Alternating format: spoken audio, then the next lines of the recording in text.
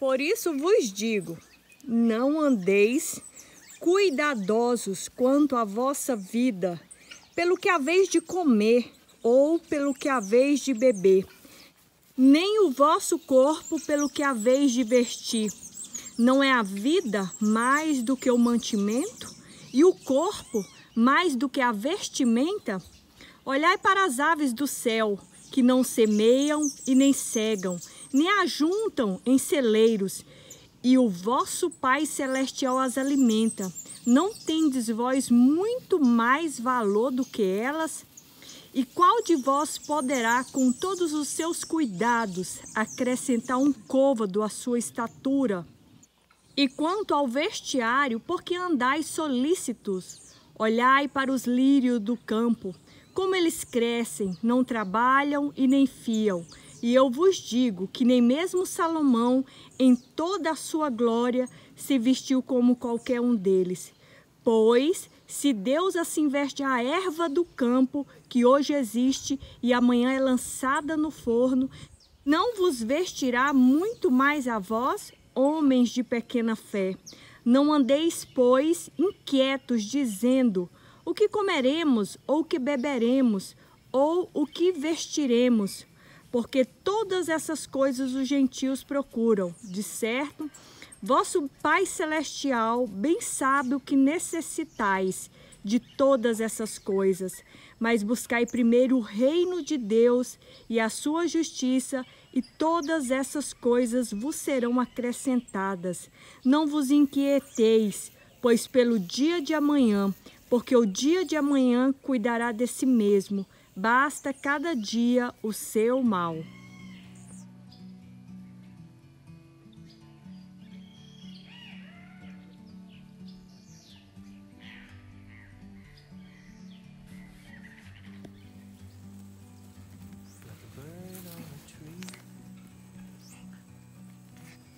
Just sitting here.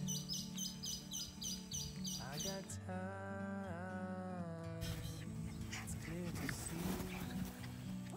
A gente perde tanto tempo né, com preocupação, a gente deixa de aproveitar a vida, a vida passa e a gente fica aqui preocupado, se batendo, o que, que a gente vai comer, o que, que a gente vai vestir.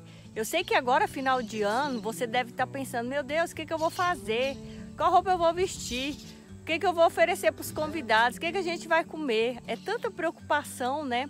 E eu quero dizer assim para você. Como eu acabei de citar aqui lá em Mateus 6, que é uma passagem bíblica, gente, que eu amo de paixão, aonde fala que Deus cuida. Deus cuida até do matinho. Sabe o matinho? Aqui em casa eu convivo com muito matinho, com vários matinhos.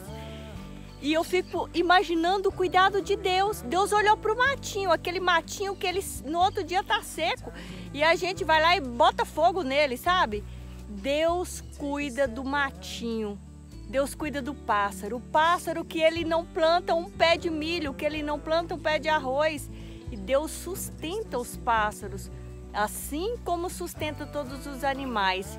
Então você acha que, que Deus não cuida de você? Muito pelo contrário. Deus está vendo todo o nosso sofrimento, toda a nossa dor, toda a nossa preocupação. E nessa hora, o que, que Deus nos fala? Deus nos manda buscar primeiro o reino de Deus.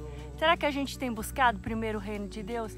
Será que com tanta preocupação, com tanta perturbação, com tanta tribulação, a gente tem buscado primeiro o reino de Deus? Será que os nossos afazeres, as nossas lutas, as nossas dificuldades têm deixado a gente buscar primeiro o reino de Deus?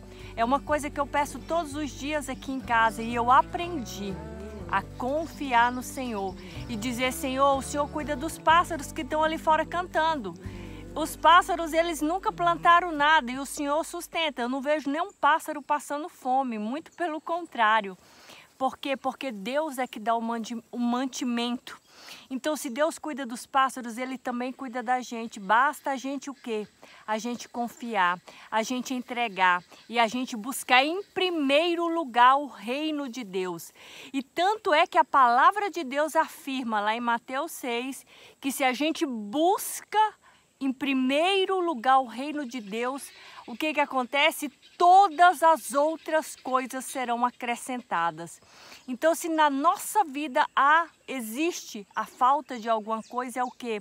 É falta da gente buscar, da gente entregar as nossas vidas na dependência do Senhor. Porque quando a gente faz isso, Deus cuida de tudo. A gente não precisa ficar batendo a cabeça, a gente não precisa ficar chorando, a gente não precisa se preocupar com nada, porque o Senhor cuida de todos os detalhes. E eu sempre falo aqui para os meus amigos, aqui para vocês, que Deus é um Deus tão detalhista quando eu digo que Ele cuida de todos os detalhes, Ele cuida de todos os detalhes. Eu tenho sido prova viva disso e eu quero que essa mensagem fale com você. Se a sua vida, Fran, minha vida está bagunçada, chegou o final do ano, misericórdia, aqui está um caos. Entrega os seus caminhos ao Senhor, confia nele, Ele tudo fará. Busque primeiro o reino de Deus, busque primeiro o reino de Deus, que todas as outras coisas vos serão acrescentadas. Não fique sofrendo lá no passado e nem sofrendo por antecipação. Franco, o que é sofrer por antecipação? É uma coisa que vai acontecer lá no futuro, a gente já está sofrendo.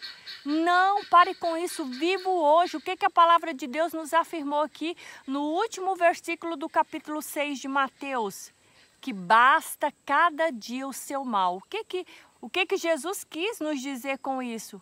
Viva o hoje, o amanhã pertence a Deus. Não fique se preocupando, Fran, mas eu tenho que fazer isso, tenho que fazer aquilo, tenho que fazer aquilo outro. O que, que a palavra de Deus disse? Para a gente buscar primeiro o reino de Deus e todas as outras coisas serão acrescentadas.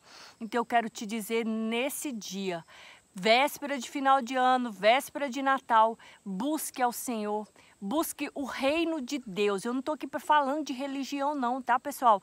Não estou mandando você ir para a igreja, eu estou pedindo, eu estou te dando uma dica. Se você quer ver as coisas acontecer na sua vida, busque primeiro o reino de Deus. Tenha Deus como Senhor absoluto da sua vida e você vai ver o que que Deus faz por você.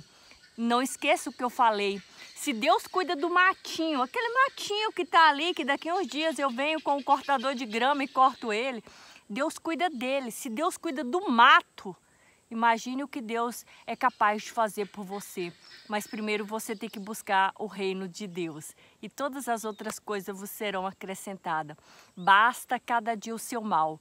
Viva hoje. Esqueça o amanhã, esqueça o passado. Viva o hoje. A gente não precisa se preocupar com o dia de amanhã, porque basta cada dia o seu mal. Eu espero muito que essa mensagem tenha falado com você. Se você gostou de vídeo assim, deixa aqui nos comentários. Fran, faça mais vídeo assim, que será um prazer fazer vídeo assim. É final de tarde agora, eu falei, nossa, eu estava meditando ali em casa nessa palavra e eu falei, eu vou fazer um vídeo para os meus seguidores, para os meus fãs, para os meus amigos, para as pessoas que eu amo, porque é tão importante a gente também compartilhar essa experiência de depositar as nossas vidas na mão do Senhor e o Senhor cuidar de tudo, de tudo, de tudo. É muito maravilhoso. Então, o meu desejo do dia de hoje é o quê? Que o Espírito Santo fale ao seu coração, que o Espírito Santo mova a sua vida e que te encoraje a buscar primeiro o reino de Deus. Muito obrigado pelo carinho, que Deus abençoe a vida de vocês. O Xane agora vai dar tchau para vocês. Xane, Xane, Xane. Ele nem dá bola, né, gente?